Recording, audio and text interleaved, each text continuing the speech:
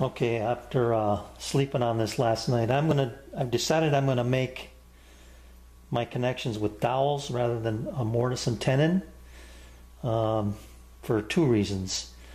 It's going to be easier, and I think it's going to be stronger. Now, I realize that this is only going in, you know, about three quarters of an inch, which is what my um, tenon would be as well. But I'll be able to put three of these in here, possibly four, and that's just a lot more glue surface and um, like I say, I think it's going to be, it'll be stronger and faster. But the problem I was running into was I want this to be centered. So I took my jig and I used the spacers that come with it.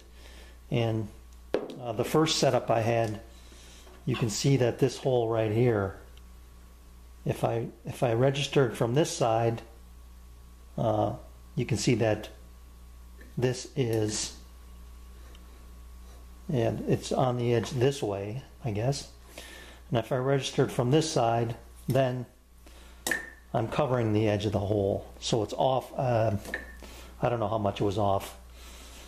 So then I put a, I, I, I messed around with some shims and I came up and I got close, but you can see when I drilled this hole here, they're still slightly off and overlapping.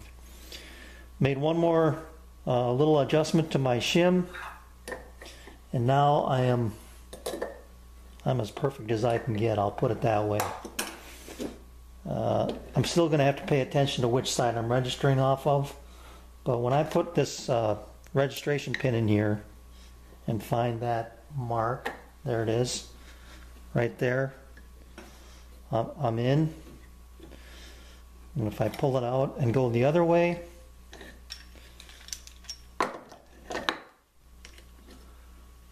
Find the hole again.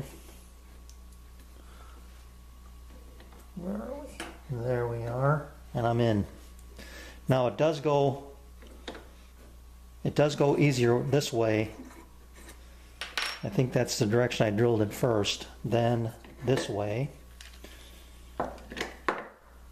But it it does fit, so I'm within I gotta say uh, a couple thousandths of an inch maybe. You know, it's not much. You know, I can I can I can get it in there. So that to me tells me I'm I'm centered, or as close as I'm going to get. So this is my I had to make a little custom shim here. I used the stock uh, three eighths. Then I had to come up with another eighth basically to get it where I wanted. So that's that's what I'm going to do. So I'm going to get started and start drilling these uh, holes and then uh, we can put it together and I'll be able to figure out my uh, slats uh, dimension which I think I am going to do those mortise and tenon just because they have to float and then um, you know start putting it together basically so let me get busy and drill some holes here and then I'm gonna I'm gonna drill a couple test holes in this piece and then I'm going to drill holes in my um, that piece of cherry you saw me using earlier for a spacer just to make sure I get everything lined up. I can live with this. A little bit of daylight on this side. I mean just a tiny bit. This is this is the side I set it to. It's tight. And you can see just the just a sliver of daylight there.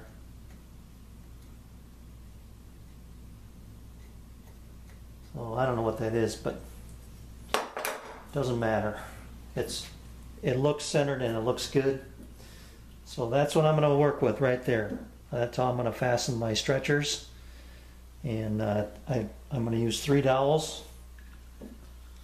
I don't have room for a fourth one. You can see one uh, fourth one would be outside the line there. So good to go. Now there there is a there is a way that I'm gonna have to orient this. I have to be careful that I don't drill, you know, I make sure that I register off the top edge here or the bottom edge, whichever way I want to do it. And I'm thinking that I'm gonna register off the bottom. So if, so if it goes, this, this would now be my top edge. That gives me uh, this uh, bit of meat right here, I guess, to make my mortises into, and I won't be interfering with that dowel in any way. I don't think I would be anyway, but it's just something to think about. So, all right, let me get busy and start drilling these holes, and then I'll show you what it looks like when I put it together. Here's how I'm going to set up this jig. Um, first of all, I went around and marked all my legs. I'm going to reference off the outside faces of my um, legs. Remember, I made these marks. This is the inside face. So I check mark both the outside faces. That's how I'm going to register it. Now, if you remember this, uh, if I was going to do a mortise and tenon here, this would have uh, been centered you can see my lines there, here and here. Let me get rid of this one. So here and here are, are the length of my measurements, and this is the outside edge of my of my stretcher. So putting that on the line approximately centered, that's where it would land. So when I drill my holes in this, I registered off of this face, which essentially will be the bottom face, and, and I'm registering off the bottom edge of the leg. So I know that when I turn this over, these holes have to line up here. And you can see that when I put the jig on, I'm registered this way, here. And now, instead of using a line and, you know, sneaking up on it type thing, I'm just going to use my combination square, put it on the, the end of the board here. I could even do it this way, I guess. bring my jig up to it, lock it down, you know, snug it up. And now I know I'm I'm registered off of the bottom exactly where I want to be. Six and a half inches.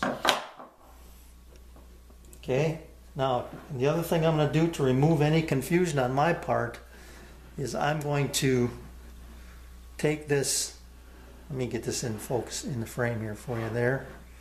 I'm going to take these two out,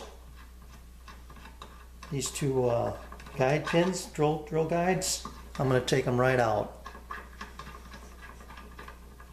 so that I don't actually accidentally drill holes up here and uh, ruin my piece. So let me uh, put in the two quarter inch ones here just because I don't like leaving those threads exposed. There, now there's no way my 3 8 drill bit is going into those two holes.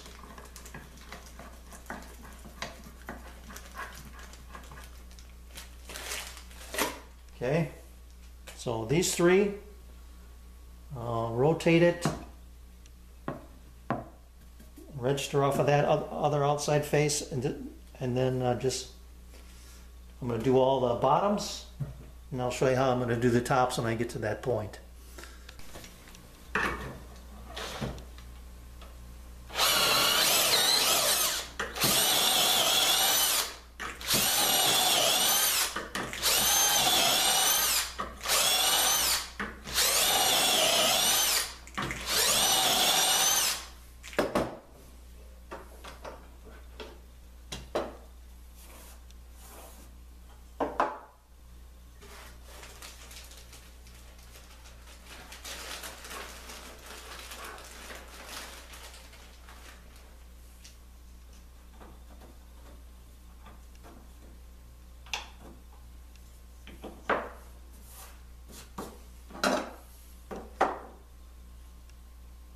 Perfect.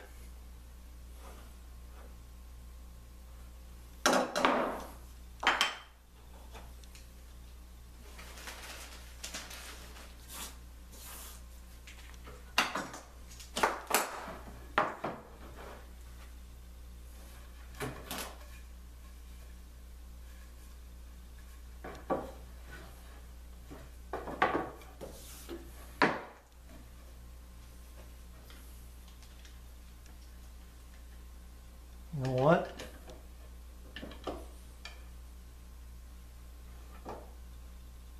There goes my plan right there. I have to keep those in because I have, it's, they're, uh, they're mirror images of each other. oh well, learn something new there. Even though they are centered, I can't, I have to be consistent and register off of this face. I can't register off of this one and use use these uh, use these three holes consistently. So I'll change these out and put these back in. Uh, first set went well, no problems. And uh, doing the second set here, just going to use my uh, same ruler I did for laying out the uh, mortises, just being basically a hook on my on my rule here. Gives me a registration I'm looking for. And then uh, coming up to this end, same thing, just uh, registering it off the top edge here and then drilling the bottom three holes again. So, then I'll just uh, rotate and repeat, rotate, or, uh, and then do the other uh, set of legs as well.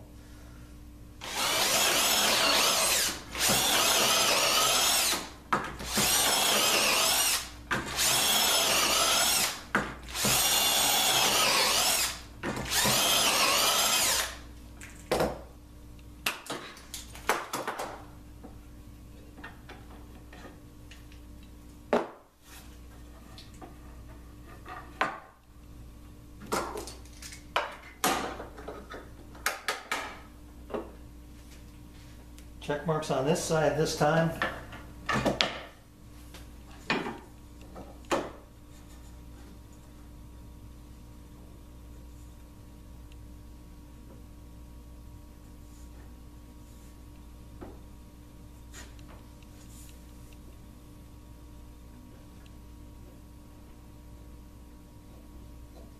I can put my finger in this hole for hanging this tool and then grab it with my thumb and kind of pinch them together, make sure they don't move on me, which works out really nice, really well. Make sure I get a good, good registration. So there it is. Again, I'll drill these three holes and then just uh, repeat on the other uh, three legs. Okay, I don't know what possesses me to do this, but I drilled four holes here. Uh, lucky for me, it's on the top. It will be covered uh, mostly by this. But I am going to fill this hole right now with a solid dowel and not one of these fluted ones. This is a, a little tighter fit and, and then when I cut this off, that little bit that's going to be exposed won't have the, the, the flutes or the glue showing, I guess. Uh, I don't know. Little brain fart on my end. But just trying to show you that I do make mistakes once in a while.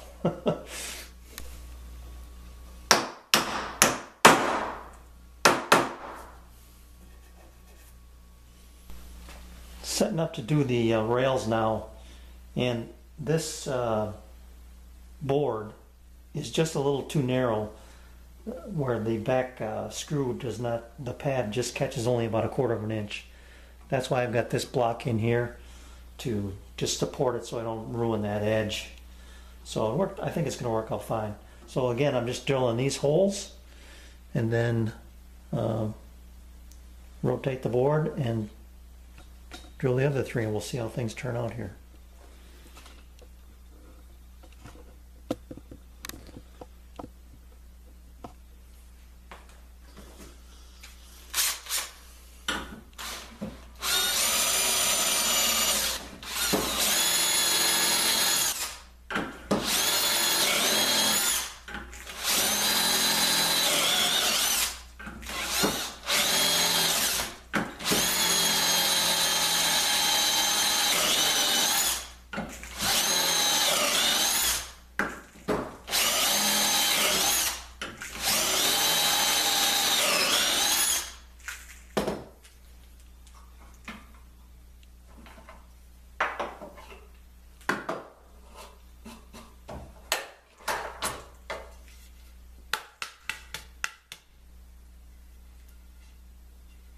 Okay, so if I rotate the board, I've got my check mark. I'm going to keep the check mark to the outside.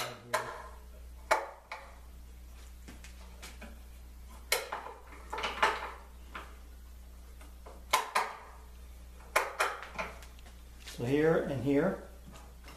So I'm just registering off of that. And I'm using this little ruler here to get it flush with this edge. Just snug that up. And I can put my block in here.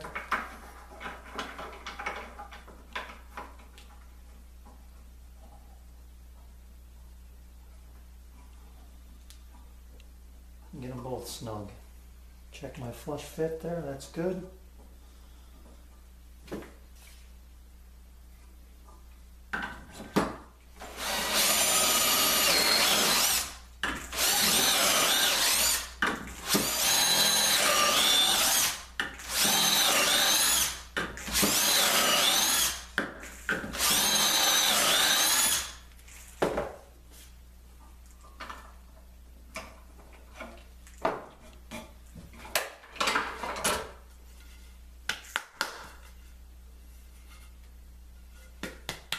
Right, I'm going to check the fit on this one. I'll be right back. Uh, front and rear on the, uh, or the top front and the bottom rear. Top front, bottom front. Sorry, jeez. Top front, bottom front stretchers are in, and uh, it's perfect. So then, what the, this allows me to do is to I get this measurement or this cut line right here, but it's uh, it's exactly 28 inches, which is uh, what the plan was. This dimension is 16 or six and a half, which is which is what the plan was. Um, this dimension right here changed by a half an inch because I originally had these set at 27 and a half, but uh, I made it 28. So it's it's working out good. I'm gonna do all the rest of them and then uh, dry fit it all together, and we'll come back and see what that looks like. And, and I'll also cut those legs to length as well, and uh, then I can get some dimensions for the for the inside uh, slats that are going in here. And the other thing I'm gonna do is notch this uh, a little bit right here for that shelf to stick in or that uh, slat to stick in underneath rather than notching the slat around the leg. Uh, that'll, I think that'll be a, a, little more pleasing to the eye. Uh, so you don't see that gap. All right, there she be. She squares up nicely. I've got uh, just the tiniest bit of light coming through the bottom down here, but you know what? For me, that's that's square. Uh, when I measured or put the square on this side, it was perfect. I haven't done this side yet, though. And that's perfect. So uh, this might be just racked a little bit. You know, I got now I got uh, a little bit of light on the bottom over here. Can I have it on the bottom or on the top? Just a hair on the bottom, I guess. Let me see. A hair on the top. So it could be racked just a little, but I'm not going to sweat that. I'm sure the floor it's going on isn't perfect either. So uh, now this allows me to uh, pull some dimensions here. Let me grab my tape somewhere.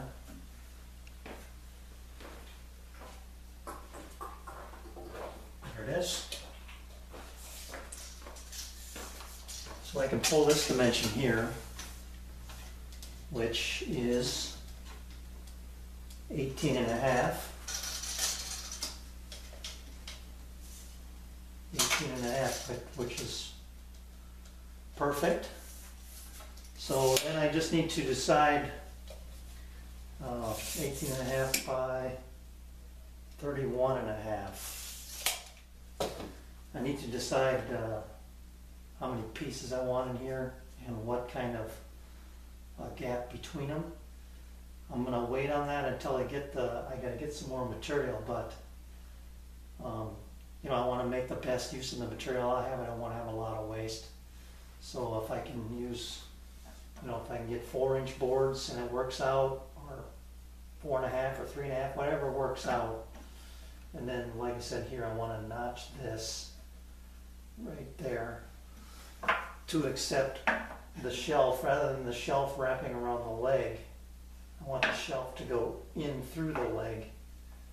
You know, so I'll cut this back at uh, 45 degrees, three quarters of an inch, and then uh, that'll help that shelf set back in there a little bit. And uh, you won't see that, you won't see this line wrapping around as you're looking down. So, a little bit of, a little bit of extra work that way, but no big deal. The tops um, are just a shade high. That's fine with me. I'll just hit this with a hand plane and bring that right into, right into trueness there. Um, I'd rather it be that way than, than these being a little high. I mean, I could always take them back to the saw and cut them off, but this allows me to get these just, just perfect. So, so far so good. It, uh, it looks good. And then I gotta get the top and, uh, the other parts done. This is the part, this is the part that's gonna be black. Then stained in here, this field will be stained and the top will be stained to match her other a couple tables that I made for her.